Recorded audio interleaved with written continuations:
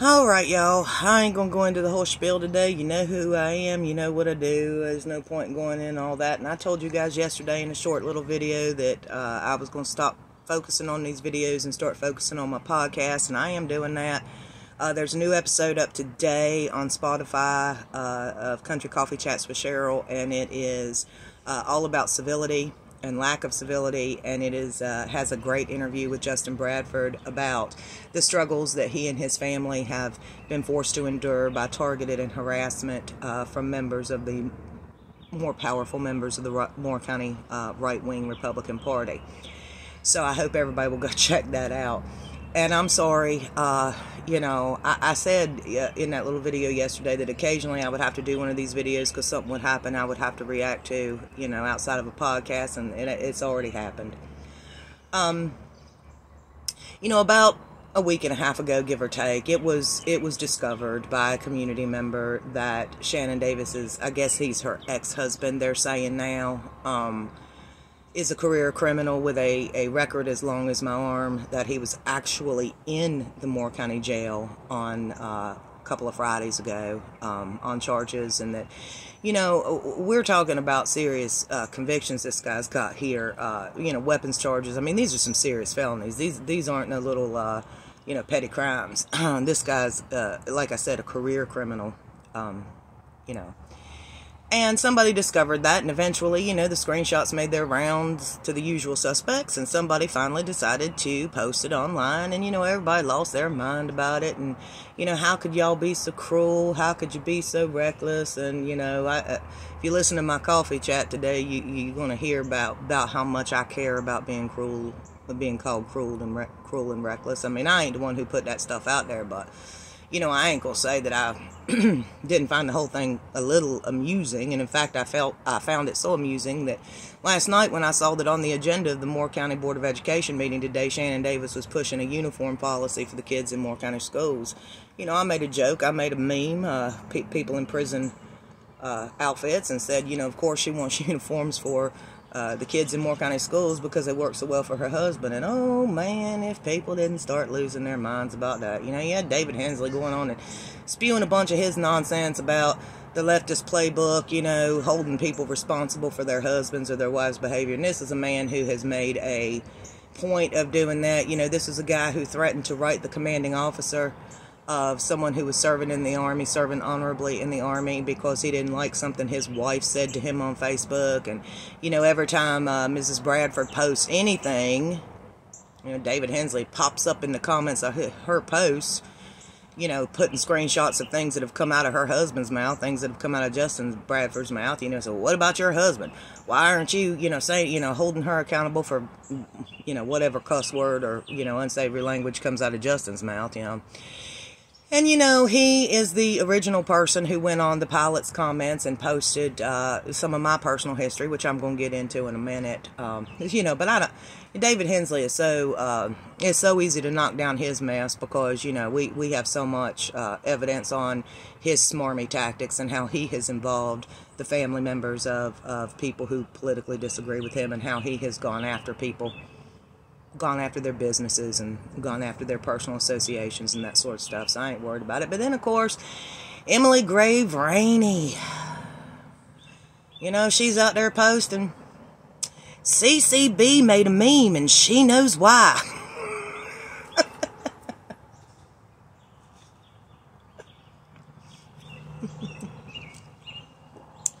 Emily, Emily, Emily.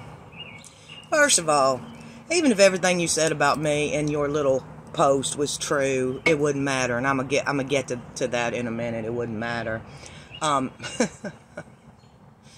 uh, but uh, you know, you need to be careful about what you say. And, and especially people who comment on your page need to be careful what they say. Because, yeah, there was a time in my life when I was completely and totally, uh, uh, you know, close to destitute, didn't have the money to fight back, but that's not where I am right now.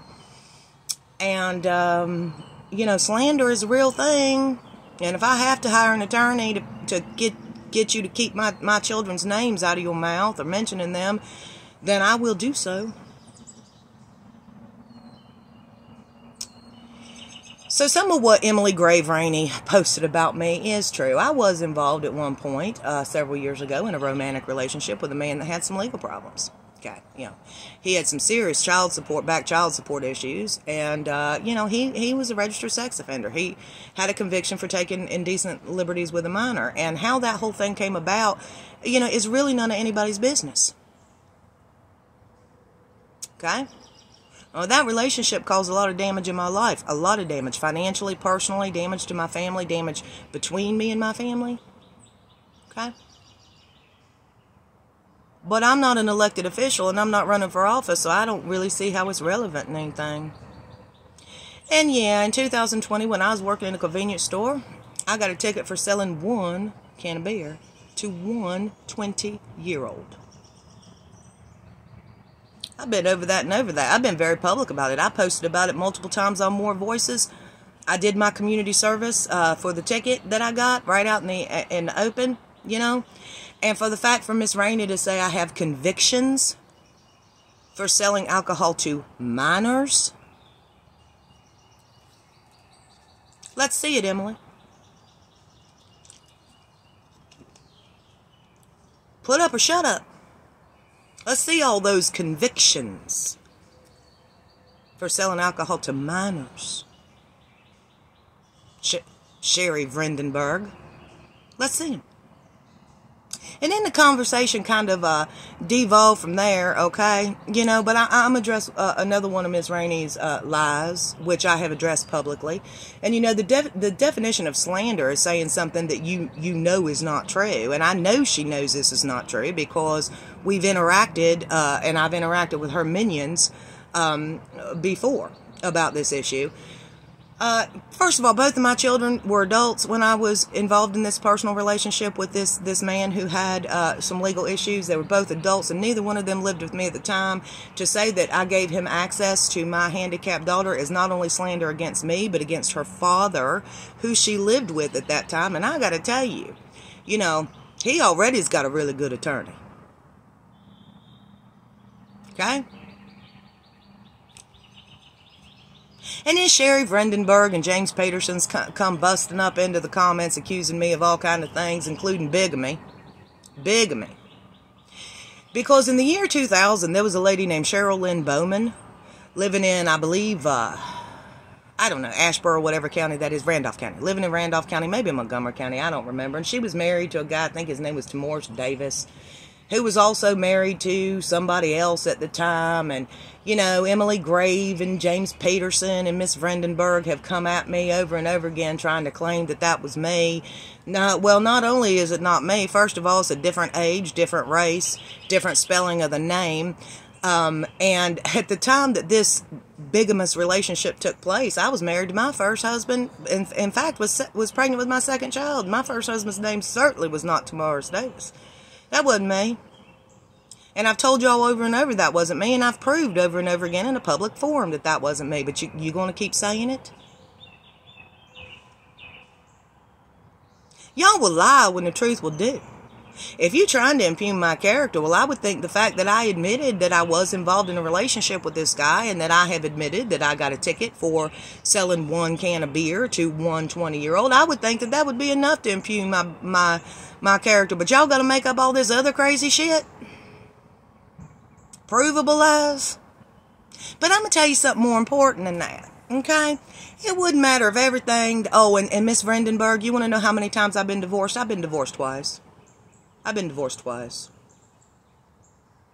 Neither one of my ex husbands are habitual felons. In fact, neither one of my ex husbands are felons at all, have any sort of criminal record at all. But I've been divorced twice, since you want to know.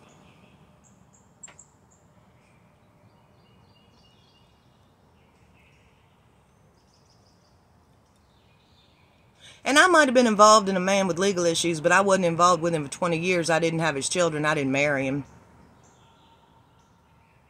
And even if I had, even if I had done every single thing you guys are out there claiming that I did, wouldn't matter. Because I'm not an elected official. I'm not running for public office, and I'm not asking for people's votes. Whatever bad judgment that I have had in my life has affected my personal life, the lives of my family, but it don't affect the 12,000 plus students in Moore County schools. It's the bottom line. Shannon Davis lied. It was a lie of omission. She ran her entire campaign on pureness and piety and good Christian values, convinced an entire community that her judgment was so pure and so good that they, that they can trust, uh, that they should trust the children, the safety and security and the education of the children in Moore County schools to her. And she hid the fact that she had this long term relationship you know, with a career criminal. She's out there judging everybody else, judging their personal relationships, judging their life choices, judging whether or not they have the right to exist. And she can't even keep her own backyard swept up. And she hid it. And everybody who supported her, who knew about it, hid it. Because they didn't want the, the voters of Moore County to be able to ask Miss, Miss Davis about her judgment. Okay? Y'all want to rag on me for messing up my personal finances and, and you know, uh, messing up some of my family relationships, but I, you know what?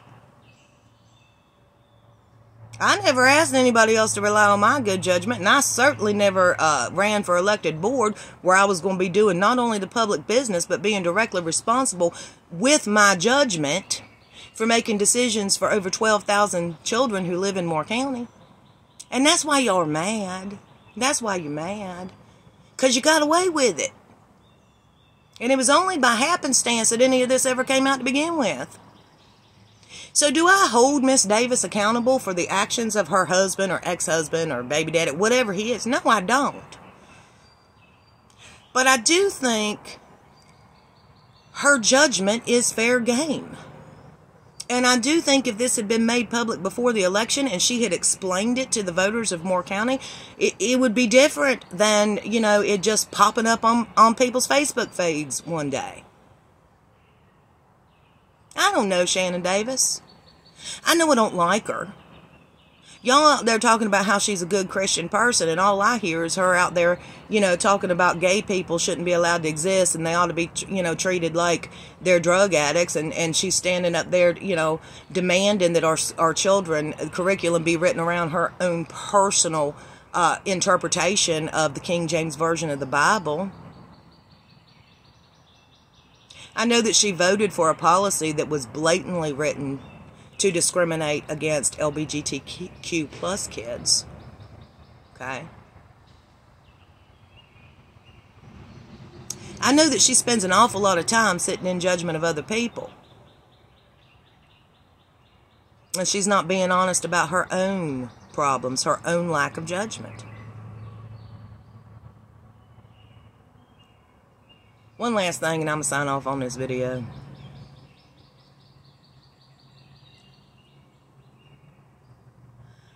If it was only me that were having these lies told about them, okay, they're having, you know, their most private,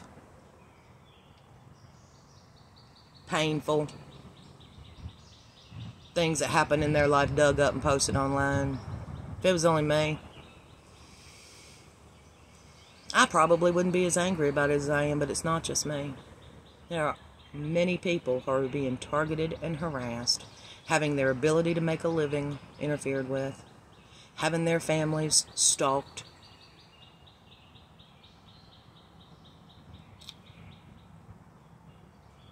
And some of the stuff that's being said about them is either wildly exaggerated or, or has no basis in the truth whatsoever.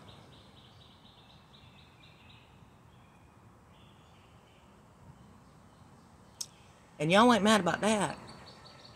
But you're mad that when something is provably true from public record that is embarrassing to one of your people comes to light. Now y'all mad. Well, like I have said over and over again, y'all sitting up there in a glass house, you know, throwing stones at us when the secrets you guys are keeping are way worse than what you guys say you're exposing about leftists.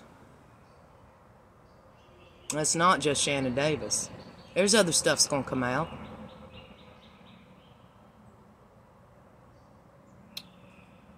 like I said in a Facebook post not too long ago, some of these people have been sitting up there being all judgy McJudgerson about the personal lives of other people and, you know, trying to go around and making their lives a living hell. Y'all better uh, get down on your knees and start practicing up on your I have sinned speeches.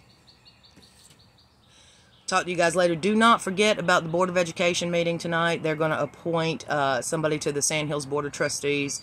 Uh, my money is, prob- is on that wingnut job Steve Woodward. Um, you know, uh, so uh, they're going to do that.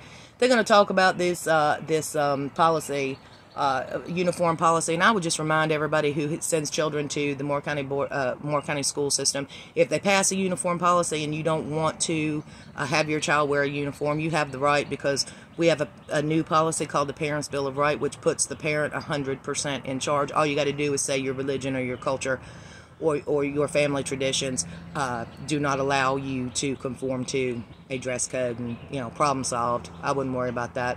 They're going to set the new school calendar uh, there, there's a couple you know uh, it, it, it, should be a good meeting tonight and um, everybody um, don't forget about it. Hop on over to spotify and listen to today's podcast. It's a great interview with justin bradford. I think it a lot of people will be surprised at the links that certain people in our community went through to try to break him and break his family. I'll talk to y'all later